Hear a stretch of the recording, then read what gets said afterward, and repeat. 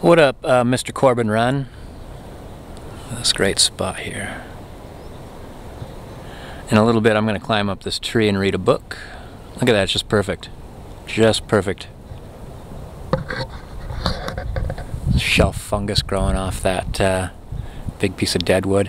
You know, I've heard tales of people getting to stumps like this and catching the stump on fire and having the stump burn like all night long. Um, I don't know. It seems, uh, I don't know, something about it always kind of wigs me out. Like, I, I, I, don't know, like, I don't know what I'm worried about, like uh, a root fire or something like that. It's a beautiful spot. Well, Mr. Run, uh, I wanted to get you back, back to you about knives. Uh, I was going to do some uh, knife work out here, but uh, there's a couple of people just kind of sitting down, contemplating right around me. I was actually surprised to see people back here. I see three people. Um, so I, I, won't do that. A lot of, a lot of chopping and banging.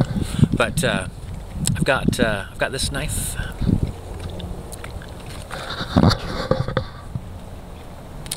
Uh, it's a, a, really inexpensive Gerber. Uh, you can see I broke the tip off right there, making a bow. It's all scratched up, and that's actually that's actually not rust. Actually, that's uh, um, spices from popcorn.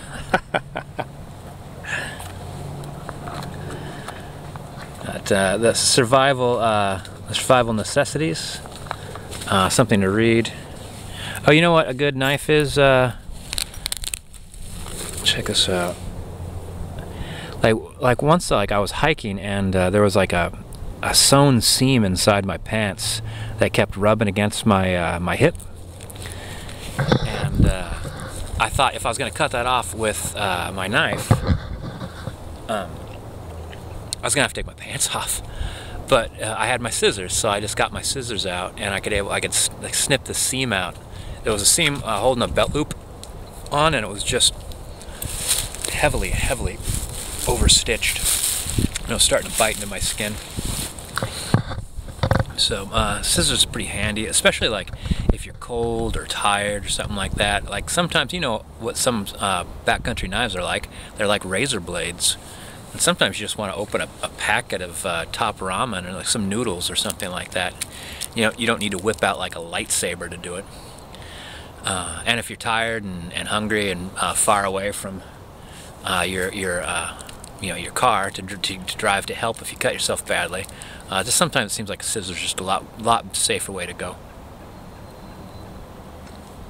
Oh.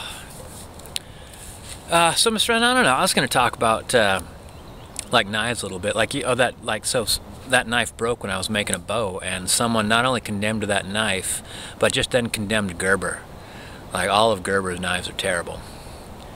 And uh, I kind of saw what they meant. Like they're like thinking like, oh well, it's it's really important to have like the you know the ultimate knife, you know, one that doesn't break for any reason. Um, but part of me is like, well, that knife actually still works. I just I just broke a, a chunk off the back.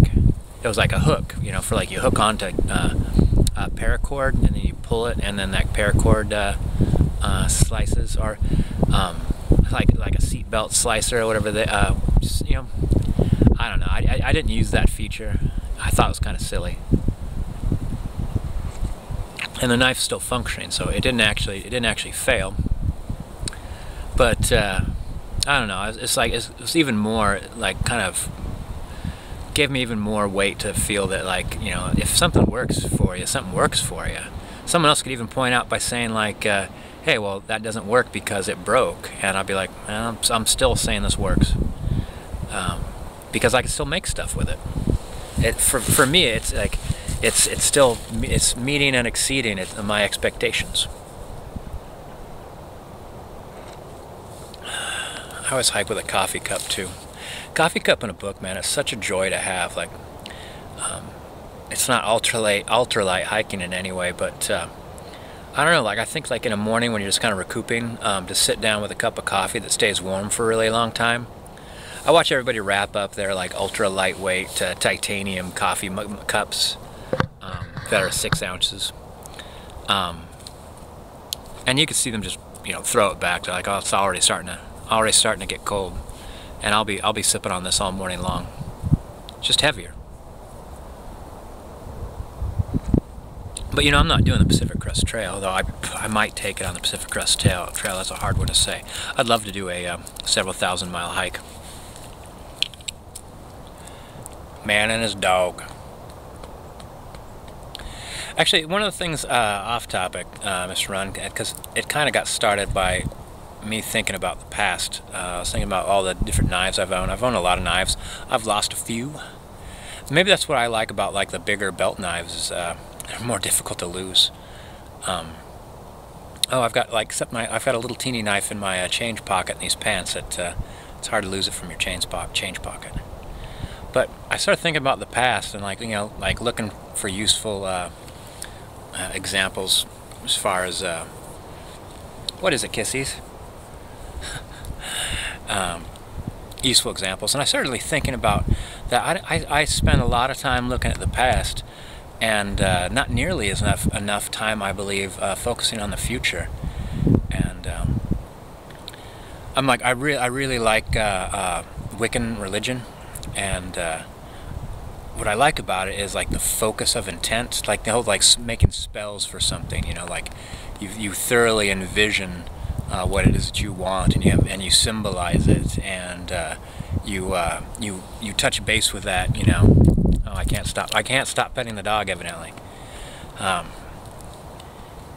and I thought, what a what a fantastic practice as far as like envisioning uh, the future. I'm like, I'm like, what what tools am I going to get out of the future? I don't know what it's going to be. But like, say, like I envision a house, like uh, I, I envision buying property or envision a house, and so I'm like, okay, well, what's my house made of? You know, and where do I get this stuff? And then maybe I'm like, well, actually, well, if it's in the far far away, then um, maybe I should I, I should look to like local materials. Like, so maybe thinking about the future might change my mind about what it should be and it, then it also might give me uh, some real concrete steps to take um, to bring it about. So I don't know. It just occurred to me that don't know. I, I probably spend like five percent of my mental work uh, thinking about the future, and um, like eighty percent of my time thinking about the past. I can't tell you how many times I'm just kind of walking along and I'll think about something that happened. I'll think, like, when did that happen? And uh, I was thinking this morning about something that happened when I was like, I think I was 16. Um, and I was comparing it to something that just happened to me recently, um, wondering that, you know, at the similarities. And then suddenly I thought, like, you're like, I don't know, like, I wonder at its, uh, its, its productivity. Kind of what it made me think of is what happened when I was 17, what happened recently is. Uh, I unintentionally got on someone's uh, bad side because they didn't know what was going on and they thought they did. And so they started acting uh, way that I found objectionable to me. And instead of like, you know, carefully and politically and politely um, pointing out, oh, I think there's been a misunderstanding, um, instead I just brought it down on them I'm like, oh, you're gonna you're gonna give me a hard time. Well, perhaps perhaps maybe I should let you know what's actually going on before you uh, you know before you lose your temper like you are. You silly silly little person. I was thinking that that that's, that's, that actually will interfere with my future, and that's when I started thinking I should think more about my future. All right, I guess I guess Aquila and I have to make out or something because I need both hands. He's like, I don't, I don't want to make out. I just wanted to pet. All right, Mr. Run, uh, Mr. Corbin Run. I'll see you in the tubes.